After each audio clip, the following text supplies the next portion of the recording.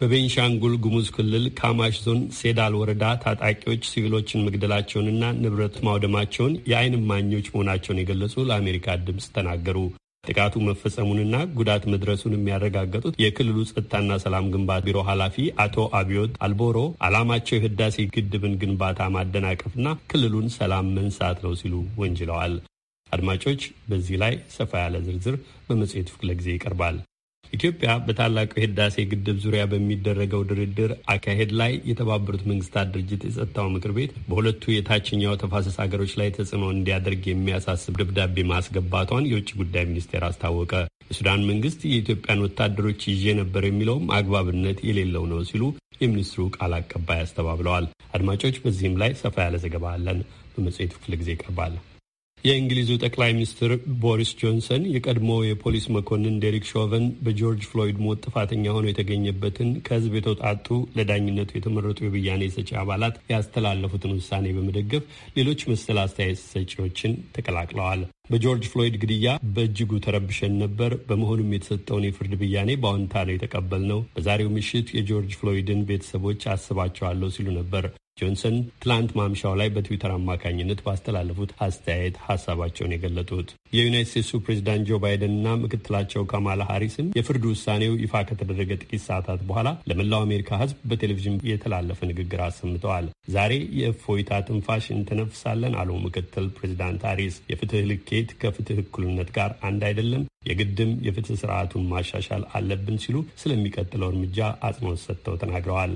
የፍርዱ ብያኔ ከተሰማ በኋላ የፍሎይድን ቤተሰቦች በስልክ ደውሎ ያነጋገሩት ባይደን በበኩላቸው በዩናይት ስቴትስ ስርዓት ውስጥ የተንሰራፋ ዘረኝነት በሀገራችን ማንነት ላይ አንዳች ያዳፋ አኑሯል ብለዋል። ባይደን አክለውም የዛሬው የፍርድ ውሳኔ አንድ እርምጃ ወደፊት ከመራመድ ይቆጠራል፣ ነገር ግን እንደ ብርቅ የሚታይ ነውና ፍትህ ይረጋገጥ ዘንድ ለምናደርገው ጉዞ ግን የመጀመሪያው ትልቅ እርምጃ ሊሆን ይችላል ብለዋል። በሌላ በኩል የቴክሳሱ ሪፐብሊካን ሴናተር ጃን ኮርነን የባይደንን አስተያየት ተቃውሞ ተናግረዋል። ኮርነን በትዊተር ገጻቸው ላይ ባሰፈሩት አስተያየት በአንድ ጉዳይ ላይ በተናጠል የተፈጸሙ እውነታዎች ላይ በመመርኮዝ በአንድ መኮንን ላይ የተሰጠ ብይን ነው።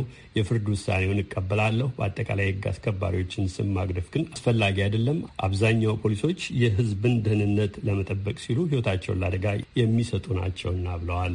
በዩናይት ስቴትስ ምክር ቤት የደቡብ ካሮላይናው ሪፐብሊካን እንደራሴ ሴናተር ቲም ስካት በበኩላቸው የፍርድ ውሳኔውን በደስታ የተቀበሉ መሆናቸውን ገልጠው በሕግ አስከባሪ አካላት መካከልና በጥቁር አሜሪካውያን እንዲሁም በሌሎች ህዳጣን የዩናይት ስቴትስ ማህበረሰብ አባላት መካከል ያለውን እጅግ ደካማ ያሉት ግንኙነት መጠገኛው ጊዜ አሁን ነው ብለዋል።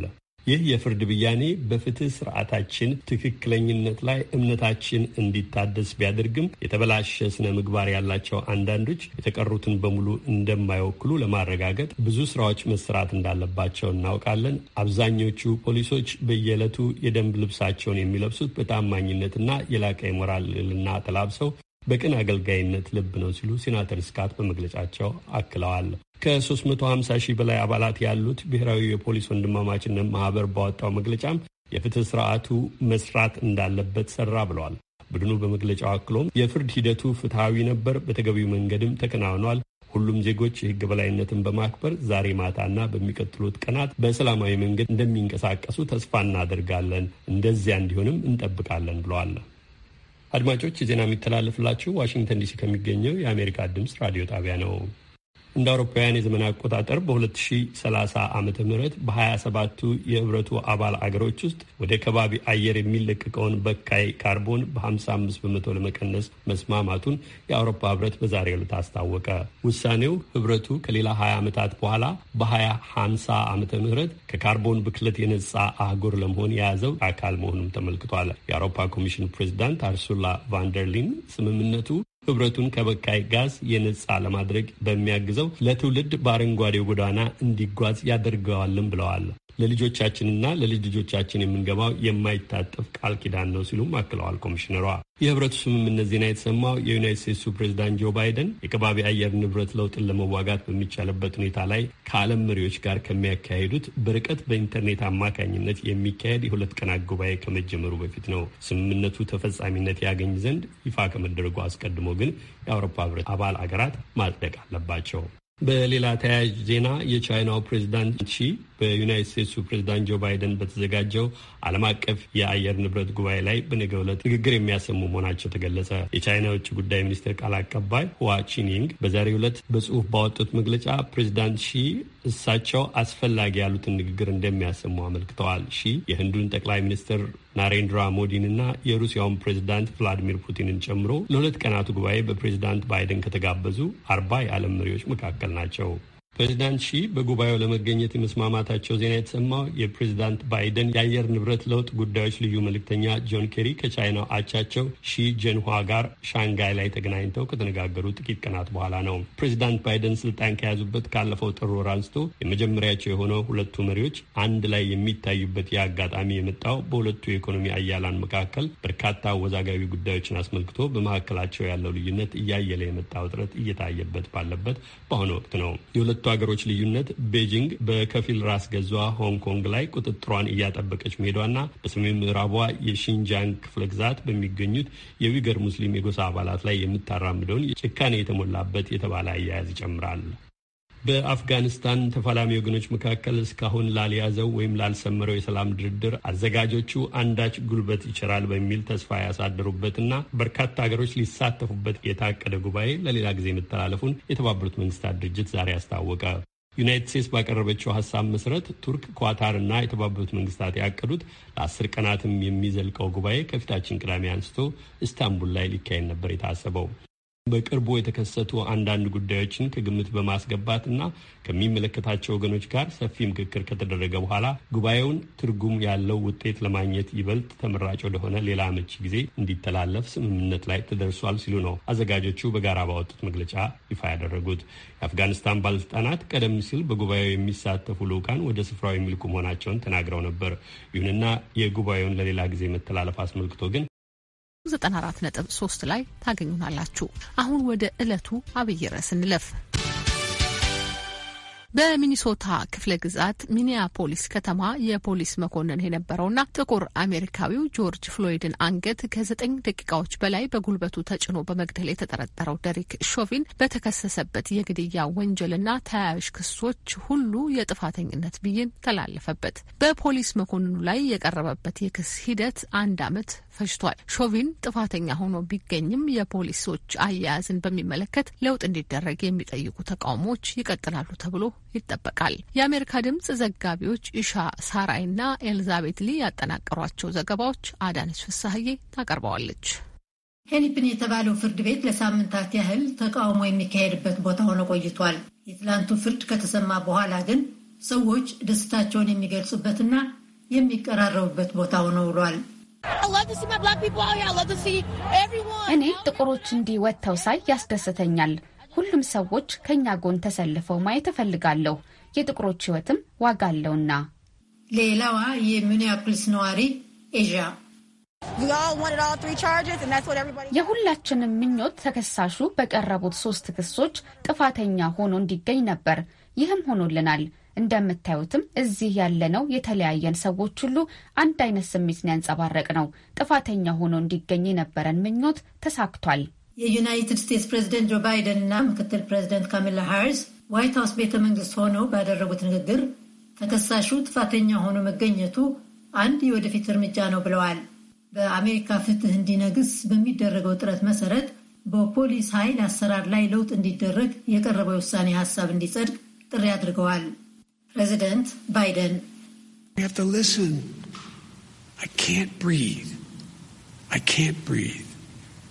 ማዳመጥ አለብን። መተንፈስ አልቻልኩም፣ መተንፈስ አልቻልኩም። እነዚህ የጆርጅ ፍሎይድ የመጨረሻ ቃላት ነበሩ። እነዚህ ቃላት ከእሱ ጋር እንዲሞቱ መፍቀድ የለብንም። ዴሪክ ሻውቪን ጥፋተኛ ሆኖ መገኘቱ እንደተሰማ በሚኒያፖሊስ ከተማ ደስታቸውን ለመግለጽ ሰልፈኞች ወደ መንገዶች ወጡ። ሆኖም ገና ብዙ መደረግ ያለባቸው ነገሮች እንዳሉ ማስገንዘባቸው አልቀረም። ባለፈው ሳምንት በፖሊስ ተተኩሶበት የተገደለው ዳንቴ ራይት ጉዳይም ጭምር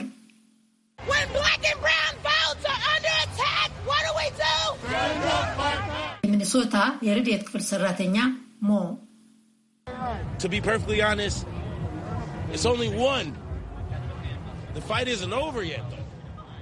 እውነቱን ለመናገር አንድ ነገር ብቻ ነው ያለው ትግሉ ገና አልቆመም። ደስታችንን እየገለጽንና ጥሩ ጊዜ እያሳለፍን ነው። ነገር ግን ገና ያላለቀ የኪም ፖተር ጉዳይ አለ።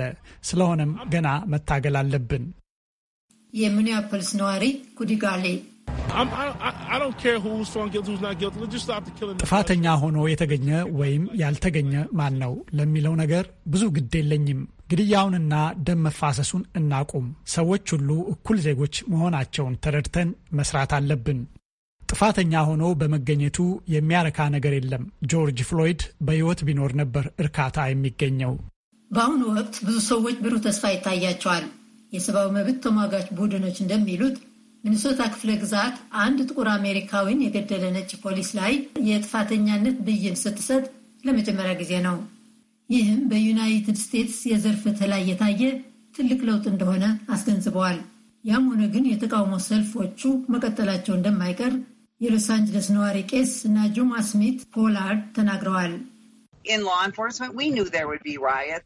በሕግ አስከባሪው ክፍል በኩል የፍርድ ሂደቱ ውጤት ምንም ይሁን ምን ረብሻ እንደሚኖር እናውቃለን። ጆርጅ ፍሎይድ ሲሞት ተነስቶ የነበረው ሁከት ሊደገም ይችላል በሚል ስጋት በርካታ የንግድ መደብሮች ታሽገው ነበር። በአሁኑ ወቅት ጡረታ ላይ ያሉት የብሔራዊ ፖሊስ ማህበር ቃል አቀባይ ቤትሲ ስሚት አያይዘውም ስሚት የሰዎችን ስሜት የሚያቀጣጥሉት መገናኛ ብዙሃን የሚያቀርቡት የፍትህ ገጽታ ነው ብለዋል። ዩናይትድ ስቴትስ ውስጥ ያሉ ብዙ መገናኛ ብዙሃን በፍትህ ስርዓት ላይ ያለው ያለመተማመን ስሜት እንዲቀጥል ያደርጋሉ። ይህም ሰዎች የአሰራራችንን ስርዓት በትክክል እንዳይረዱ ያደርጋል ብዬ አምናለሁ። አንዳንድ የመገናኛ ብዙሃን ክፍሎች የህግ አስከባሪውን ክፍል ተገቢ ባልሆነ መንገድ ነው የሚገልጹት ይላሉ ስሜት። በርካታ የሚዲያ ክፍሎችና ቱን አብይ ርዕስ ዘገባ ነበር። የትንታኔው መጽሔት ይቀጥላል። በቤንሻንጉል ጉሙዝ ክልል ካማሽ ዞን ሴዳል ወረዳ ታጣቂዎች ሲቪሎችን መግደላቸውንና ንብረት ማውደማቸውን የዓይን እማኝ ነን ያሉ ለቪኦኤ ገልጸዋል። ጥቃቱ መፈጸሙንና ጉዳቱ መድረሱን ያረጋገጡት የክልሉ የጸጥታና የሰላም ግንባታ ቢሮ ኃላፊ አቶ አብዮት አልቦሮ ዓላማቸው የህዳሴ ግድብ ግንባታን ማደናቀፍና ክልሉን ሰላም መንሳት ነው ብለዋል። ናኮር መልካ ተጨማሪ ዘገባ አለው። በቤኒሻንጉል ጉሙዝ ካማሽ ዞን ሴዳል ወረዳ ታጣቂዎች ትናንት ሰላማዊ ሰዎችን ገለዋል ሲሉ ከጥቃቱ ማምለጣቸውን የጠቆሙና የዓይን እማኝ ነኝ ያሉ አቶ ማቲ ሙላቱ እንደሚባሉ የገለጹ ግለሰብ ተናግረዋል። አቶ ማቲ ታጣቂዎቹ ቀይ የሆኑ ሰዎችን ብቻ ለይተው ጥቃት ከመፈጸም ባሻገር በመንግስትና በግለሰቦች ንብረት ላይም ጉዳት አድርሰዋል ብለዋል። እርሳቸውን ጨምሮ ሌሎችም ሰዎች ቤት ንብረታቸውን ትተው መሸሻቸውን ገልጸዋል። እነዚህ ሽፍቶች መጥተው ከተማ ከገቡ በኋላ አባትን ገለው እናትንም በመግደል ሕፃናትን ሲያሰቃዩ ነበር። ህዝቡ ከሴዳን ለቆ ለመውጣት ተቸግሮ ነበር። ምክንያቱም ትራንስፖርት የለም። የታጣቂዎቹ ፍላጎት እንደ መረጃ ከሰማነው መንግስትን በመቃወም እነሱ በፈለጉት ለመተዳደር ነው። ሶስት አምቡላንሶች ተቃጥለዋል። ከጸጥታ መካከልም የተጎዱና የሞቱ አሉ። ከህብረተሰቡ መካከል በታጣቂዎቹ የተገደሉትን በውል ለማወቅ አልቻልኩም፣ ግን ሰዎች ሞተዋል። እኔ ከልጆቼ ጋር ነው በጫካ ውስጥ አድርጌ ያመለጥኩት። እዛ የቀሩም አሉ ብለዋል።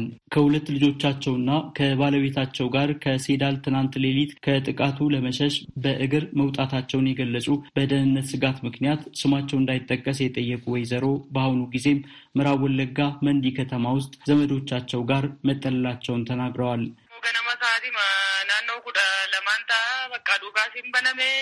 ከሌሊቱ አስራ ሁለት ሰዓት ይሆናል። ተኩስ ተከፈተ። ቤት ውስጥ የምንይዘው የምንጨብጠውን ነው ያጣ ነው። ከሴዳል ቆንጮ ከተባለ ቦታ ተነስተን ጫካ ውስጥ አድርገን በማቆራረጥ ነው ዳለቲ ከተማ የገባ ነው። አይናችን እያየ ቤታችን ውስጥ መጥተው ከሚገሉን በማለት ከባለቤቴና ሁለት ልጆቼ ጋር በጫካ ውስጥ አቆራርጠን ከረዥም የመንገድ ጉዞ በኋላ ዳለቲ ከተማ የገባ ነው። ከዛም በኋላ በመኪና አሁን መንዲ ከተማ ገብተን ዜሮ ሶስት ቀበሌ ውስጥ በሰዎች ቤት ውስጥ ተጠልለን እንገኛለን። ልብስ የሰጡንም እነሱ ናቸው። ከቤታችን ምንም ነገር ይዘን አልወጣንም ብለዋል።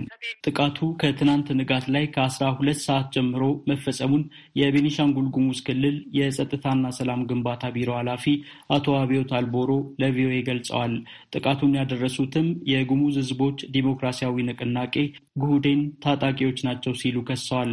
የደረሰውን ጉዳት መጠን ለጊዜው በውል እንደማይታወቅና እያጣሩ መሆናቸውን ኃላፊው ጠቁመው ሲቪሎች ብቻ ሳይሆኑ የመንግስት ጸጥታ አስከባሪዎችም መገደላቸውን የመንግስትና የግለሰቦች ንብረትን መውደሙን አቶ አብዮት ተናግረዋል። ንብረት ላይ እና በጸጥታ ኃይል ላይ እና አካባቢ ማህበረሰብ ላይ ጉዳት እንደደረሰ ይታወቃል።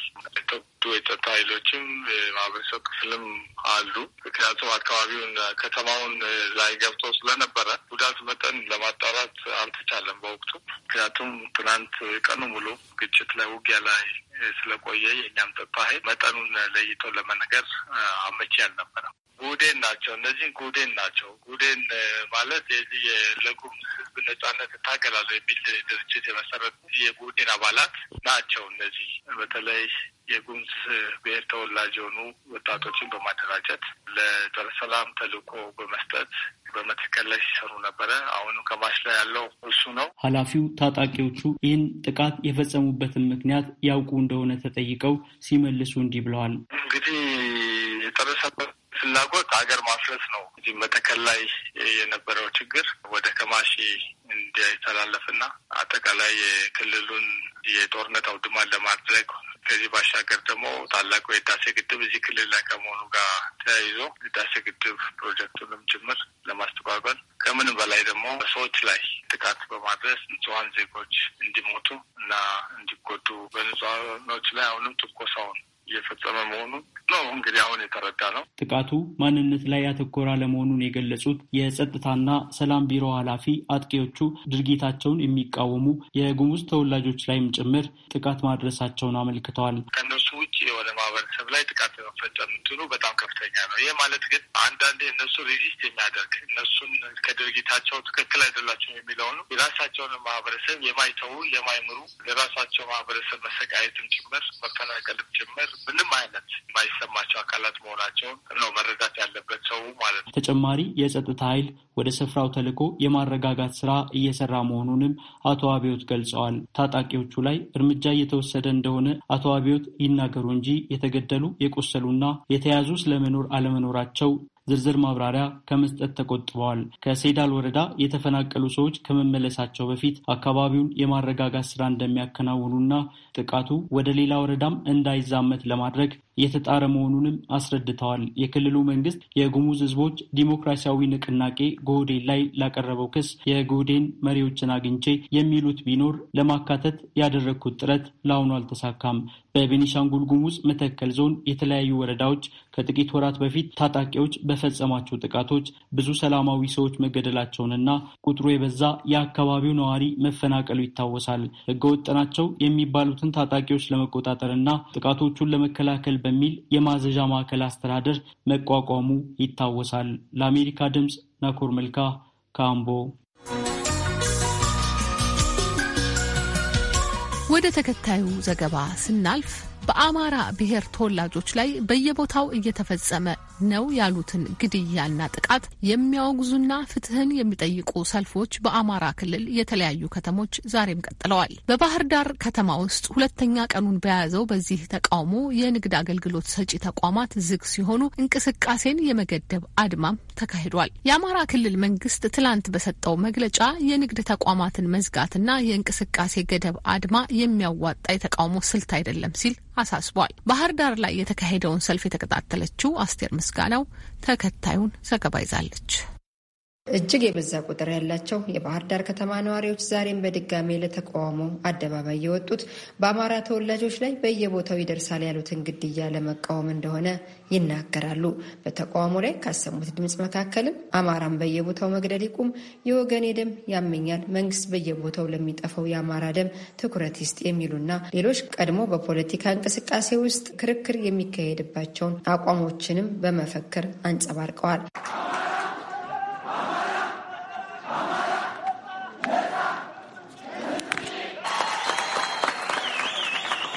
ሁለተኛ ቀኑን በያዘው በባህር ዳሩ የዛሬው ተቃውሞ ትምህርት ቤቶችና የንግድ አገልግሎት ሰጪ ተቋማት ተዘግተው ውለዋል። የትራንስፖርት አገልግሎትም ጠዋት ላይ ተቋርጦ የነበረ ቢሆንም ረፋዱ ላይ ግን እንደገና ጀምሯል። በተቃውሞ ሰልፉ ላይ ካገኟቸው ነዋሪዎች መካከል ሀሳባቸውን ያካፈሉን ነበሩ።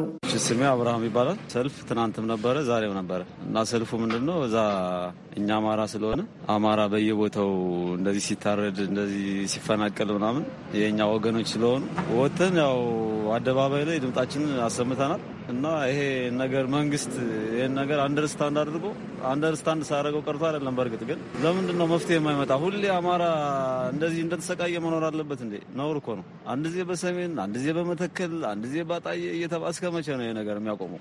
እና እኛ በጣም ፊል አድርገናል።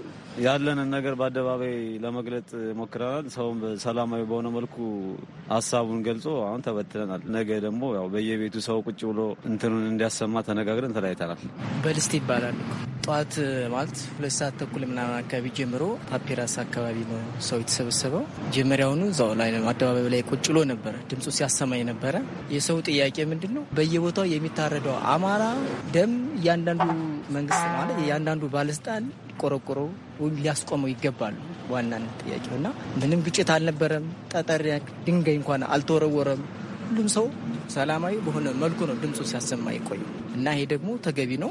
በየቦታው እየታሰረ በየቦታው እየታረደ ህጻናት ምን አደረጉ? እናቶች፣ ሴቶች ምን አደረጉ?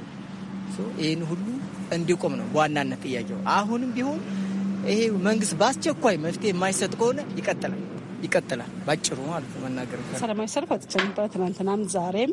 ያው የወጣበት ምክንያት የአማራ ግድያ ዘር ተኮር የሆነውን ነገር እንዲቀር በማለት ድምጻችን ለማሰማት አደባባይ ወጠናል። ሰሚ ካለን እንግዲህ የሻኑን ያክል ያነው የንግድ ተቋም በሙሉ ተዘግተዋል። አገልግሎት እስከ መቼ እንደሚቀጥል አናቅም።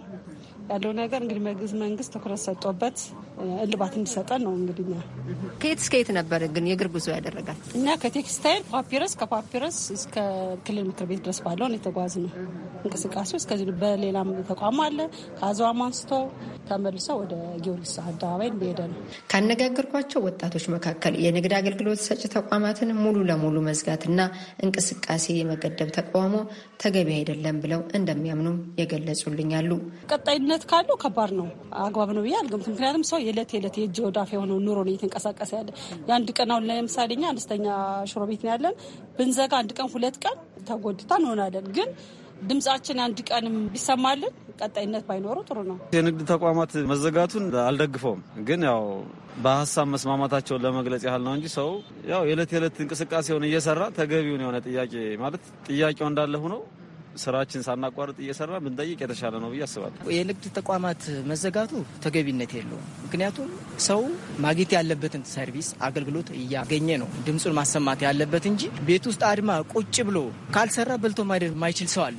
ያ ሰው ስሞን ሊሆን ስለዚህ መተዛዘን ያስፈልጋልና ሰልፍ ባለበት ሰዓት መዘጋት አለበት። ሰልፉ ከተጠናቀቀ በኋላ ግን መከፈት መቻል አለበት። ቅድም እየመጣ እኛ ዞር ዞር እያልን እያየን ነበረ። ባንኮች በሙሉ ዝግ ናቸው። ምናልባት ከሰዓት ይከፈታሉ ተብሎ ይጠበቃል። አልተከፈቱም። አሁን እያየ ይሄ መሆን የለበት። የአማራ ክልል የመንግስት ቃል አቀባይ አቶ ግዛቸው ሙሉነህ ትናንት በሰጡት መግለጫ የንግድ ተቋማትን መዝጋትና የእንቅስቃሴ ገደብ አድማ የሚያዋጣ የተቃውሞ ስልት አይደለም ሲሉ አሳስበዋል። የንግድ እንቅስቃሴዎች እንዲቆሙ አንዳንድ ግለሰቦች ፍላጎት እንዳላቸው ምንሰማቸዋሉ። እንዲህ እንዲህ አይነት ነገሮች ጥሩዎች አይደሉም፣ መፍትሄ አይሆኑም። አሁን ብዙ ችግር ነው ያለበት ማህበረሰባችን። በችግር ላይ ችግር እንዳይደረብ የመፍትሄ አካል ሁላችንም የመፍትሄ አካል እየሆነ መሄድ አለብን የሚል የመጨረሻ መፍትሄው የጋራ አንድነት ማጠናከር ነው። ይህ መሰመር አለበት። መፍትሄው የውስጥ አንድነታችን አቅማችን መበረታት አለበት፣ መጠናቀር አለበት።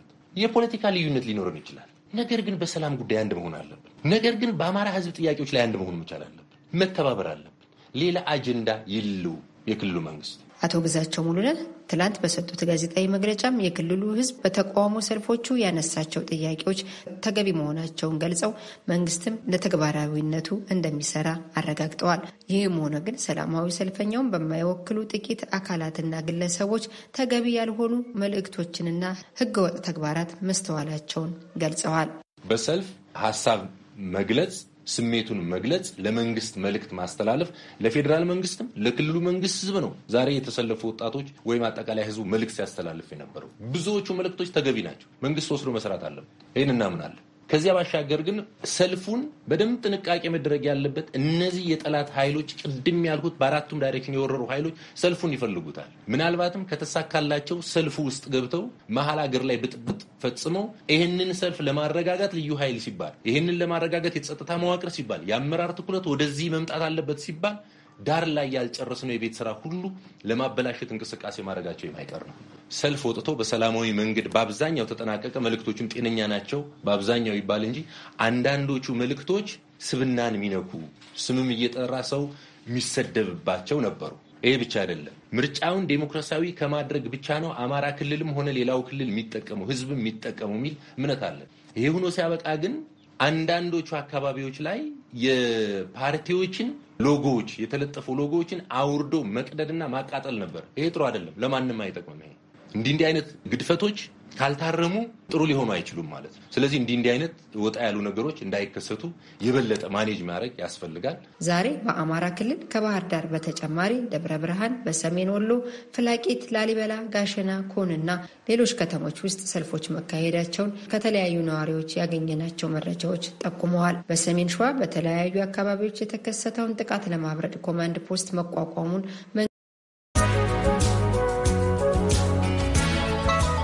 ወደ ተከታዩ ዘገባ ስናልፍ ኢትዮጵያ በታላቁ የህዳሴ ግድብ ዙሪያ በሚደረገው ድርድር አካሄድ ላይ የተባበሩት መንግስታት ድርጅት የጸጥታው ምክር ቤት በሁለቱ የታችኛው ተፋሰስ ሀገሮች ላይ ተጽዕኖ እንዲያደርግ የሚያሳስብ ደብዳቤ ማስገባቷን የውጭ ጉዳይ ሚኒስቴር አስታወቀ። የሱዳን መንግስት የኢትዮጵያን ወታደሮች ይዤ ነበር የሚለውም አግባብነት የሌለው ነው ሲሉ የሚኒስትሩ ቃል አቀባይ አስተባበሉ። መለስካቸው አመሃ ዝርዝር አለው። የውጭ ጉዳይ ሚኒስቴር ቃል አቀባይ ዛሬ በጠራው ጋዜጣዊ ጉባኤ ኢትዮጵያም በበኩሏ በህዳሴ ግድብ ዙሪያ የሚካሄደው ድርድር ከአፍሪካ ህብረት ማዕቀፍ እንዳይወጣ የሚያሳስብ ደብዳቤ በተባበሩት መንግስታት ድርጅት ለጸጥታው ምክር ቤት እንደ ጻፈች አምባሳደር ዲና ሙፍቲ ይፋ አድርገዋል። ቀደም ሲል ሁለቱ የታችኛው ተፋሰስ ሀገሮች ማለትም ግብፅና ሱዳን ለጸጥታው ምክር ቤት ያስገቡት ደብዳቤ ያልተቋጨውን ድርድር በማቋረጥ ጉዳዩ እንደ አዲስ ሆኖ የመንግስታቱ ድርጅት ዩኤስ አሜሪካና የአውሮፓ ህብረት ከአፍሪካ ህብረት የሚስተካከል ሚና ይዘው ድርድሩ እንዲጀምር የሚጠይቅ እንደሆነ ታውቋል። የኢትዮጵያ አቋም ከዚህ የተለየ እንደሆነ አምባሳደር ዲና ሙፍቲ ለጋዜጠኞች አስረድተዋል። ኢትዮጵያ ለተባበሩት መንግስታት ድርጅት ጸጥታ ጥበቃ ምክር ቤት የጻፈችው ደብዳቤ አለ። እዛ ደብዳቤ ላይ በዋናነት የተላለፈው መልእክት በአፍሪካ ሂደት በአፍሪካ አስተባባሪነት የሚደረገው ድርድር በዛው ሂደት እንዲቀጥል ይሄ በተባበሩት መንግስታት ድርጅትና በአፍሪካ መካከል ያለውን complementarity የመደጋገፉን ሂደትም የተከተለ መሆኑን አሁንም ሱዳንም ግብፅም ከዚህ ከአፍሪካ process ለመውጣት የሚያደርጉት ነገር ተገቢ እንዳልሆነና የተባበሩት መንግስታት ድርጅት በእነሱ ላይ ተጽዕኖ እንዲያደርግ የሚያሳስብ ደብዳቤ ነው የተላከው ማለት ነው። ቃል አቀባዩ አክለውም የሁለቱ ሀገሮች ዋና ግብ አሁን ያለውን ኢፍትሐዊ የውሃ አጠቃቀም ለማስቀጠል መሆኑን አስገንዝበው የጸጥታው ምክር ቤት እርምጃቸውን እንዲያስቆም የሚያሳስብ እንደሆነም ጠቁመዋል። ሁለቱ ሀገሮች በተለይ በቅንነት እየተደራደሩ አለመሆኑን እዚሁ ደብዳቤ ላይ ቀደም ሲል የደቡብ አፍሪካ መንግስት አሁን ደግሞ የኮንጎ ሪፐብሊክ መንግስት ሂደቱ እንዲሳካ ለሚያደርጉት ጥረት ኢትዮጵያ ያላትን ምስጋና አቅርባለች ማለት ነው እዚሁ ደብዳቤ ላይ ከዚህም በላይ ለሁለተኛ ሙሌት በፊት ኢትዮጵያ data avail በማድረግ ረገድ እንደገና ሁለቱ ሀገሮች concern ኣቸውን address በሚያደርግ መልኩ በተለይ immediate አሁን በሁለተኛ ሙሌት ደረጃ confidence እንዲኖራቸው ለማድረግ ያደረገቻቸው ጥረቶችን ለተባበሩት መንግስታት ድርጅት በተጻፈው ደብዳቤ ውስጥ ተገልጿል ማለት ነው። በተለይ ሁለቱ ሀገሮች አካባቢ አሁን የሚታየውን ፍትሐዊ ያልሆነ የውሃ አጠቃቀምን ለማስቀጠል እየተደረገ ያለው ጥረት ተገቢ እንዳልሆነ አሁንም እናት ኢትዮጵያ ለአፍሪካ ህብረት process commitment እንዳላት የተገለጸበት ሁኔታ ነው። የሚኒስቴሩ ቃል አቀባይ የሱዳንና የኢትዮጵያን የድንበር ውዝግብም ያለበትን ሁኔታና ኢትዮጵያ ትከተለዋለች ያሉትን ፖሊሲ አብራርተዋል። አሁንም ኢትዮጵያ የተፈጠረውን ችግር በዲፕሎማሲያዊና በሰላማዊ መንገድ ለመፍታት እየሰራች ናት ብለዋል። ይሁንና ሰሞኑን ከወደ ሱዳን የሚሰማው ነገር ከዚህ መንገድ የወጣና በሁለቱ ሀገሮች መካከል ወታደራዊ ግጭትና ፍጥጫ እንዳለ የሚያስመስል ጥረት እየተካሄደ ነው ሲሉ ይገልጹታል። ሰሞኑን በሱዳን በኩል maybe ሚዲያም ላይ እንዳያችሁ ስልሳ አንድ የሚሆኑ የኢትዮጵያ ወታደሮችን ይዘናል የሚለው አግባብነት ያለው ጉዳይ እንዳልሆነ ከመሰረቱ ሲጀመር ሁለቱ ሀገሮች መካከል በአሁኑ ሰዓት current የሆነ ወታደራዊ ግጭት የለም። ምንም እንኳን የሱዳን ጦር የኢትዮጵያን መሬት ይዞ ንብረት ያወደመበት ሁኔታ ቢኖርም ነገር ግን ሰሞኑን ያደረጉት ነገር ስልሳ አንድ ዜጎችን ማለት ነው ሀምሳ ዘጠኙ ገበሬዎች ናቸው ሁለት ሚሊሻዎችን ጨምረው ይዘናቸዋል የሚል መግለጫ ነው እየሰጡ ያሉት። አክቹዋሊ ለዓለም አቀፍ ህብረተሰብ በሁለቱ ሀገሮች መካከል መሳሪያ የጦር ግጭት ወይም ወታደራዊ confrontation እንዳለ የሚያስመስል አይነት ነገር ነው ያለው። ይሄም ፍጹም ስህተት መሆኑን ነው። እውነታው ግን ኢትዮጵያ በሱዳን ወታደራዊ ኃይል መያዟን ነው መሬቷ። አሁንም ኢትዮጵያ ለሰላማዊ መፍትሄ ቅድሚያ እንደምትሰጥ ነው የምንገልጸው። በአምባሳደር ዲና አባባል ወታደራዊ ግጭት በሌለበት ወታደር ሊያዝ አይችልም። በሀገራቸው ድንበር ውስጥ የሚገኙ ዜጎች ወደ ሀገራቸው ተመለሱ ሊባሉም አይችልም የሚል ነው። ምክትል ጠቅላይ ሚኒስትርና የውጭ ጉዳይ ሚኒስትር ደመቀ መኮንን ከተለያዩ ዓለም አቀፍና አህጉር አቀፍ ድርጅቶች ልዑካን ጋር እንደተወያዩና ማብራሪያ እንደሰጧቸውም ቃል አቀባዩ ተናግረዋል። ትግራይ ውስጥ ተፈጽመዋል የሚባለውን የሰብአዊ መብቶች ጥሰትም በመንግስታቱ ድርጅት የሰብአዊ መብቶች ከፍተኛ ኮሚሽነርና በኢትዮጵያ ሰብአዊ መብት ኮሚሽን በጋራ ምርመራው በቅርቡ እንደሚጀመርም እንደገለጹላቸው ቃል አቀባዩ ተናግረዋል። መለስካቸው አምሃ ለአሜሪካ ድምፅ ሬዲዮ ከአዲስ አበባ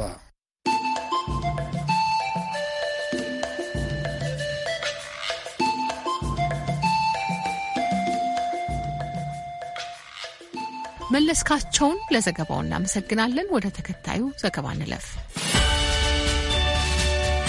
በሶማሌ ክልል ለስድስተኛው ብሔራዊ ምርጫ ለመወዳደር የተዘጋጁ ሶስት ተቃዋሚ ፓርቲዎችና የግል እጩዎች በጋራ ባወጡት መግለጫ ምርጫ ቦርድንና የክልሉን ገዢ ፓርቲ ኮንነዋል። የምርጫ ሂደቱ ለክልሉ ገዢ ፓርቲ አድሏዊ አሰራር እየተከተለ ነው ሲሉ ከሰዋል። የክልሉ ገዢ ፓርቲ የሶማሌ ብልጽግና በበኩሉ በምርጫ አስፈጻሚዎችም ሆነ አስተባባሪዎች ላይ ቅሬታ ካለ ከሶስት ወር በፊት ጀምሮ ቅሬታ አቅርቦ መፍትሄ መጠየቅ ሲገባ የመራጮ የመራጮች ምዝገባ ሲጀመር መግለጫ ማውጣታቸው ምርጫውን እንሸንፋለን ከሚል ስጋት የመነጨ ሊሆን ይችላል ብሏል። ምርጫ ቦርድ በበኩሉ ቅሬታ ያቀረቡት ፓርቲዎችን ወደ አዲስ አበባ ጠርቶ እያወያየ መሆኑንም ተናግሯል። አዲስ ቸኮል ተጨማሪ አለው።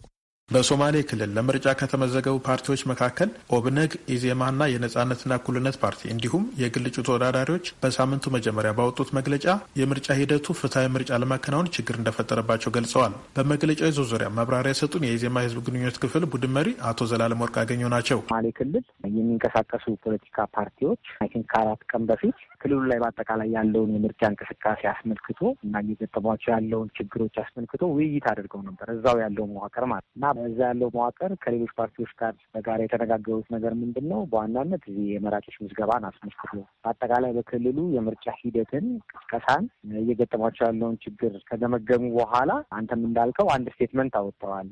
እነዚህ ችግሮች ካልተፈቱ ዲሞክራሲያዊ ምርጫ ማካሄድ አይቻልም ብለው ማለት ምንድን ነው? እነዚህ የምርጫ ጣቢያ የሚባሉት በጣም ዘግይተው ነው የተከፈቱት። ዘግይተው ከተከፈቱ በኋላም ወዲያው ምርጫ ካርድ አልቋል በሚል መራጮችን መመዝገብ ያቆሙበት ችግር እንደገጠማቸው በጣም በአጭር ጊዜ ውስጥ ይሄ እንዴት ሊሆን ይችላል ወይ ተጨማሪ polling station ሊከፈት ይገባል የሚል ሁኔታ ውስጥ እንደገቡ ከዛ በፊትም ደግሞ በአጠቃላይ በእጩዎች አመዘጋገብ በምርጫ ቅስቀሳ ወቅታቸው የገጠማቸው ችግር ነበረና ይሄንን ለምርጫ ቦርድ አሳውቀው አልተፈታልንም የሚል ቅሬታ ነበራቸው። እዛ ያለው መዋቅር በሙሉ ይህንን ለምርጫ ቦርድ አቅርበው ነው ይሄ ካልተፈታለን የምርጫ እንቅስቃሴ አናደርግም ያሉት። ፓርቲዎቹ ባወጡት መግለጫ በክልሉ እየተከናወነ ያለው የምርጫ ስርዓት የምርጫ ስነ ምግባር አዋጅን እንደሚቃረን በየደረጃው ያለው የምርጫ ቦርድ መዋቅር ከመንግስት መዋቅር ጋር የተዋሃደ መሆኑን የምርጫ ቦርድ ስራዎች የጊዜ ሰሌዳ በግልጽ የተቀመጡ አለመሆናቸውና የምርጫ ቁሳቁስና ሰነድ ለታለመለት መረጃ ክልልና ቦታ ሳይደርስ በገዢው ፓርቲ ደጋፊዎች እጅ መግባቱን እንዲሁም ተፎካካሪ ፓርቲዎች አስፈላጊው ምርጫ ነክ መረጃ የማይደርሳቸው መሆኑን በመግለጫቸው አንስተው ነበር። የሶማሌ ክልል ገዢ ፓርቲ ብልጽግና ጽህፈት ቤት ኃላፊ አቶ መሀመድ ሻሌ ግን ክሱን አይቀበሉትም። በምርጫ ቦርድ አስፈጻሚዎች ላይ ቅሬታ ካላቸው አስቀድሞ ሊያሳውቁ ይችሉ ነበር ብለዋል። የእጩዎች ምዝገባ ገና ከመጀመሩ ሂደቱ ሳይታይ መግለጫ ማውጣታቸውም በምርጫ እንሸንፋለን ከሚል ስጋት የተነሳ ሊሆን እንደሚችል ነው የገለጹት።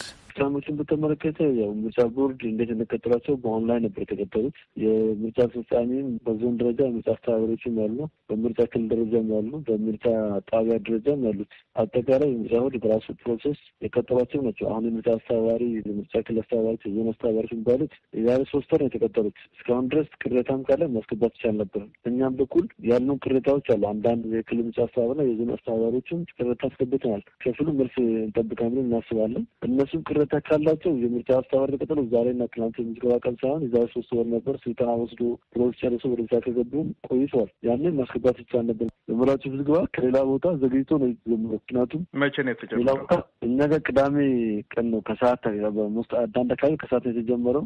እሁድ ጠዋት እንደውም የጅጅጋን ከተማ ጭምር ከሰባ አንድ ምርጫ ጣቢያ ሀያ ምርጫ ጣቢያ ነው ቁሳቁስ የደረሰ ጅጅጋ ከተማ ራሱ እና አብዛኛው ክልሉም ቁሳቁስ አልደረሰም ነበር። እሁድ ቀን እስከ ትላንትና ድረስ ምርጫ ቁሳቁስ ዛሬ እንድትል ያልደረሳቸው አካባቢዎች አሉ። የምርጫ ቁሳቁስ የምርጫ ጣቢያዎቹ። ስለዚህ እኛ አሁን ያለ ምታየን ቅዳሜ ከሰዓት የተጀመረው ምርጫ ምዝገባ በተወሰነ ውስን አካባቢ የተጀመረው የመራጮች ምዝገባ እሁድ ጠዋት ነው መግለጫ ያወጣው።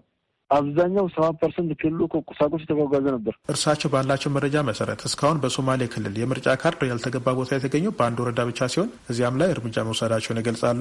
እኛ እስከምናውቀው ድረስ በዚህ በኩል የእናንተ አመራር ወይም የወረዳ ወይ የቀበሌ አመራር ጣልቃ ገብቶ እንትን ያላቸው ቦታዎች አልደረስም። አንድ ቦታ ወደ አንድ ምርጫ ጣቢያ ላይ ትንሽ አለባባ ተፈጥሮ እኛም እርምጃ ወስናቸው አሉ። ጸጥታ አካላት አንድ ወረዳ ላይ ይሜ በርሚተል ወረዳ ላይ እርምጃ ተወስዶበታል። ከሱም ጋር ከተፎካካሪ ፓርቲ ከምርጫ አስተባባሪ ጋር ነው እዚያ ጋር እኛ ጋር የተነሳው ጥያቄ እዚህ አካባቢ አስተባባሪዎች ከግል እጩዎች ጋር ግንኙነት አላቸው የሚል ትንሽ አለባባ ተፈጠረ። ጸጥታ አካላቱን እዛ ሲገቡ እኛ እርምጃ ወስደን ታስሯል። ጸጥታ አካል እዛ አካባቢ የነበሩ ከዛ ውጭ እኛ የምናውቀውም ጣልቃ የገባ ምክንያቱም አራት ሺ ሀምሳ ሶስት ምርጫ ጣቢያን አለው። እያንዳንዱ ምርጫ ጣቢያ በደረስን መረጃ እኛ አመራር ጣልቃ ከገባ እርምጃ መውሰድ ግዴታ ያለብን እንወስዳለን። እንደ መንግስት ግን ይሄኛው መታየት ያለበት በስንት ሰዓት ውስጥ ነው? ቅዳሜ ከሰዓት የተጀመሩ የመራጮች ምዝገባ ሰባ percent ክልሉ ሳይጀመር ሀያ percent ሳይጀመር ነው ጩኸት የተጀመረው። የኢዜማ የህዝብ ግንኙነት ቡድን መሪ አቶ ዘላለም ወርቅ አገኘው ግን የአቶ መሐመድን ወቀሳ አይቀበሉም። ምርጫ አስፈጻሚዎች ላይ አስተያየት በማቅረቢያው ጊዜ ቅሬታ ባያቀርቡም በስራ ሂደት ችግር ሲያጋጥማቸው ቅሬታ ቢያቀርቡ ግን መፍትሄ መፈለግ እንጂ ቅሬታ ማቅረባቸው እንደ ችግር ሊታይ አይገባም ብለዋል። የመራጮች ምዝገባ ገና ከመጀመሩ መግለጫ ማውጣታቸው በተመለከተም የሚሉት አላቸው። የቅሬታቸው ምንጭ አንዱ የተከፈቱት polling station ኦች በተከፈቱ በሀያ አራት ሰዓት ውስጥ ጭምር ሞልቷል እየተባለ ነው። ይሄ እንዴት ሊሆን ይችላል የሚል ቅሬታ ነው ያቀረቡት። በዛሬው ዕለት ብሔራዊ የሚገኙት ስደተኞችና ደጋፊዎቻቸው የኬንያ ከፍተኛ ፍርድ ቤት መንግስት ሁለት የስደተኞች ሰፈርን ለመዝጋት ያስተላለፈው ውሳኔ በጊዜያዊ መልክ እንዲዘገይ መበየኑን እያሞገሱ ነው። የተባበሩት መንግስታት ድርጅት ከፍተኛ የስደተኞች ኮሚሽነር የዳዳብና የካኩማ የስደተኞች ሰፈርን ለመዝጋት ያለውን እቅድ እንዲያቀርብ የኬንያ የሀገር አስተዳደር ሚኒስቴር ባለፈው መጋቢት ወር ጠይቆ ነበር። አራት መቶ ሺህ የሚሆኑ አብዛኞቹ ከሶማሊያና ከደቡብ ሱዳን የተሰደዱ በእነዚህ ሁለት ሰፈሮች ሰፍረው ቆይተዋል። የኬንያ ባለስልጣኖች የስደተኞቹን ሰፈሮች ለመዝጋት ያደረጉት ጥረት በፍርድ ቤት እንዲዘገይ ሲወስን ለሁለተኛ ጊዜ መሆኑን የአሜሪካ ድምጽ ዘጋቢ ሞሐመድ ዩሱፍ ከናይሮቢ በላከው ዘገባ ጠቅሷል። አዳነች ፍሳህዬ ታቀርበዋለች። የ37 ዓመት ዕድሜው ሶማሌ ስደተኛ አብዱላሂ አሊ በሀገሩ ከነበረው የእርስ በርስ ጦርነት ሸሽቶ ከተሰደደ በኋላ እንደ አውሮፓ አቆጣጠር ከ1992 ዓ ም አንስቶ በዳዳብ የስደተኞች ሰፈር እንደሚኖርና ትዳር መስርቶ የሰባት ልጆች አባት መሆኑን ገልጿል። የኬንያ ከፍተኛ ፍርድ ቤት መንግስት በሀገሪቱ ምስራቅ ክፍል የሚገኘውን ካኩማንና በሰሜን ምስራቅ በኩል ያለውን ሌላ የስደተኞች ሰፈር የመዝጋቱን ውሳኔ እንዲዘገይ ማዘዙን በደስታ እንደተቀበለው ተናግሯል።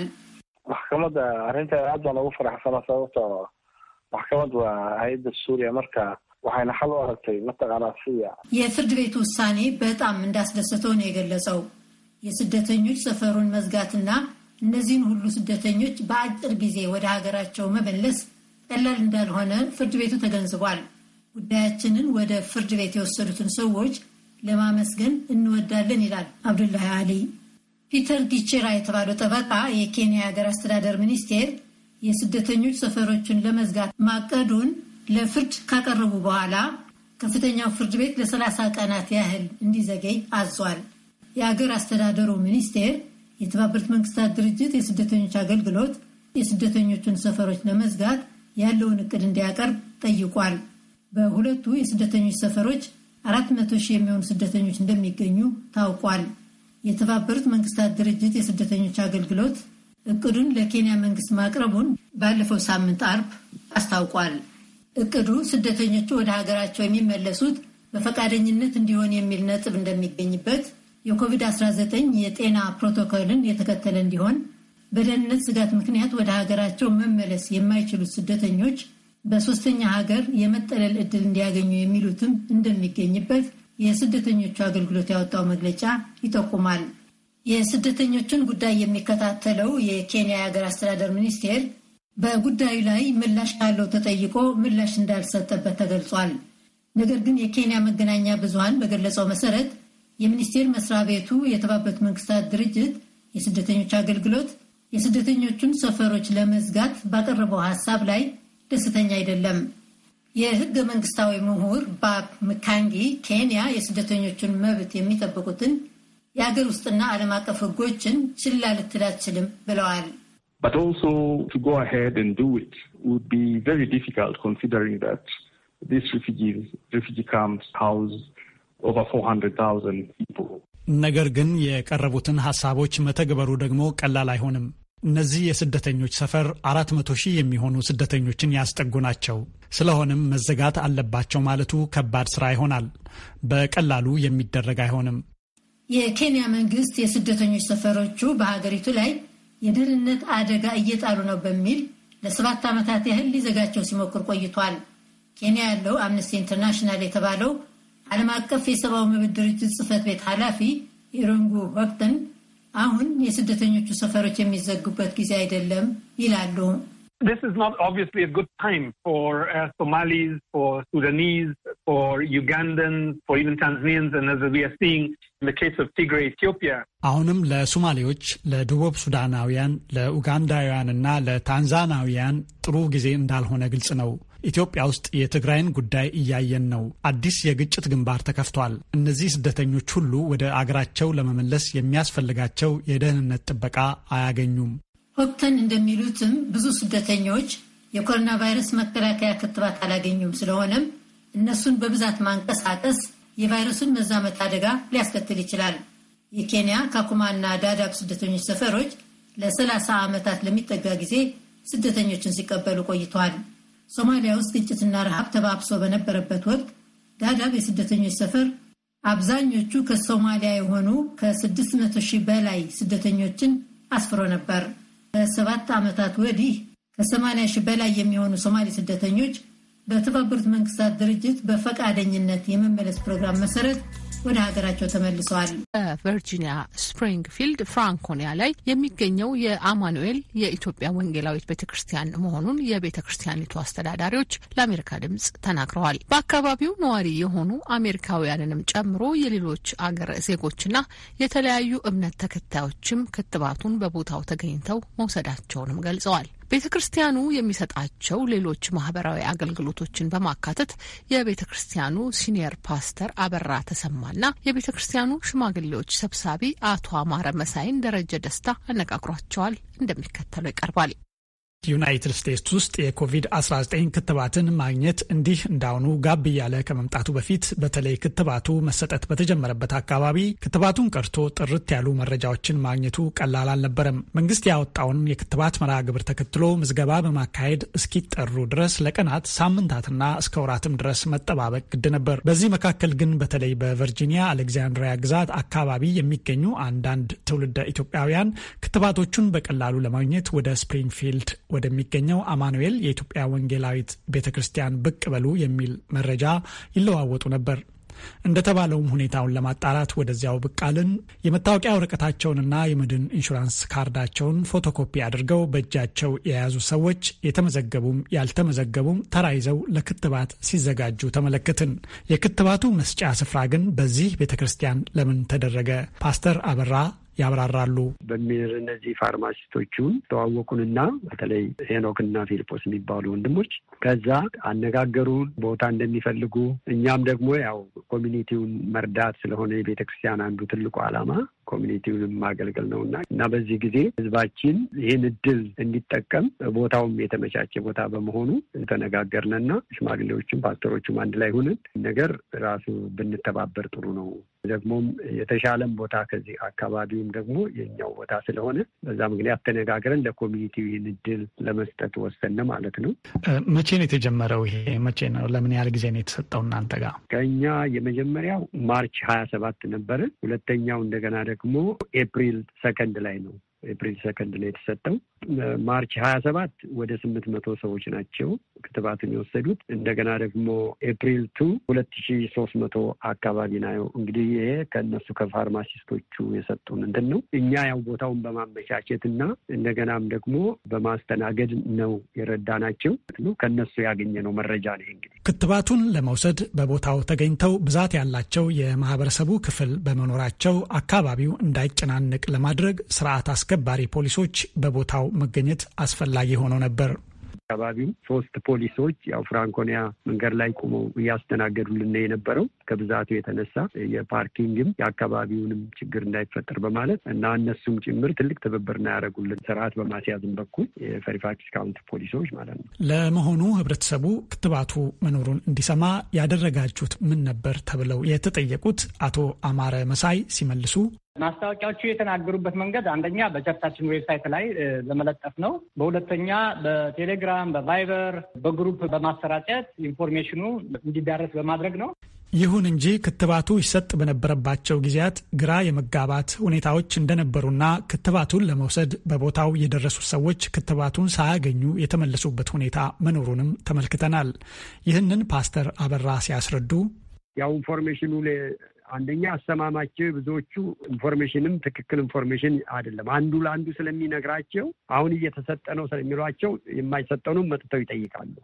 ተመዝግበው የነበሩ ግን ጥያቄያቸው መጉላላት የነበረው እንግዲህ በ pharmacist ኦቹ በኩል መድኃኒቱን ባለማግኘታቸው ምክንያት ነበር። በእኛ በኩል ሳይሆን በእነሱ በኩል የተመዘገበውና ያልተመዘገበውን ባለማየት የመጣውን ሁሉ ማስተናገድ ስለተፈለገበት ምክንያት አቶ አማረ ይህን ብለዋል።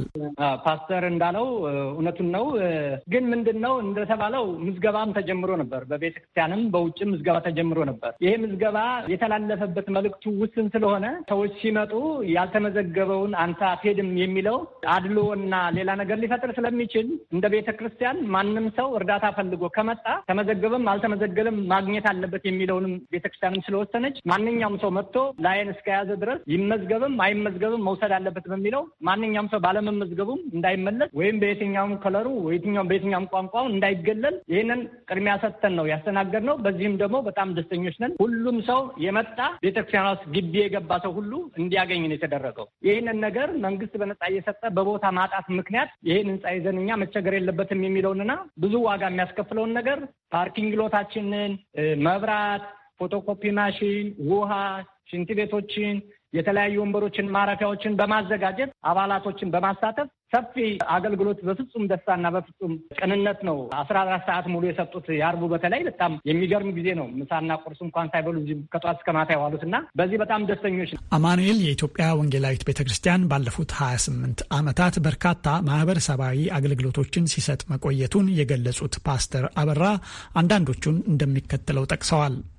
ያለፉት ሀያ ስምንት ዓመት በሜሪላንድም በዲሲም በቨርጂኒያም ያለውን community ያው አገልግሎት እንሰጣለን። ብዙ የ IT course ኦች፣ ብዙ የ medical team ኦች፣ የ IT team ኦች በተለያየ እንትን የተደራጀ ነው ቤተ ክርስቲያኑ። ብዙ ባለሙያዎች ናቸው ያሉት እና ሁሉንም በየሙያው አሰማርት እንትን የምናደርግበት ስለሆነ ለአካባቢው ያው እንዲህ አይነት service ራሱ ቤተክርስቲያኗ ትሰጣለች። ቤተ ክርስቲያናችን እንግዲህ እዚህ ገዝተን ከገባን ጊዜ ከአራት መቶ በላይ ነው member ያለን ነው እና እግዚአብሔርም ደግሞ ይሄ በጣም የሚያስደንቅ location ነው የሰጠን። እንዳየኸው ብዙ Ethiopian church ኦች አሁን የዚህ አይነት location የዚህ አይነት የፓርክ ቦታ እና ስፋት ያለው ያላቸው አይመስለኝም። እና በዛ እግዚአብሔርን በጣም እናመሰግናለን። የቦርዱ ሰብሳቢ አቶ አማረም ትውልደ ኢትዮጵያውያን ተማሪዎችን በትምህርታቸው በማገዝና እዚህ ብቻ ሳይሆን በኢትዮጵያም ችግር ላይ የወደቁትን ወገኖች በመርዳት ቤተ ክርስቲያኒቱ እንደምትሰራ ተናግረዋል።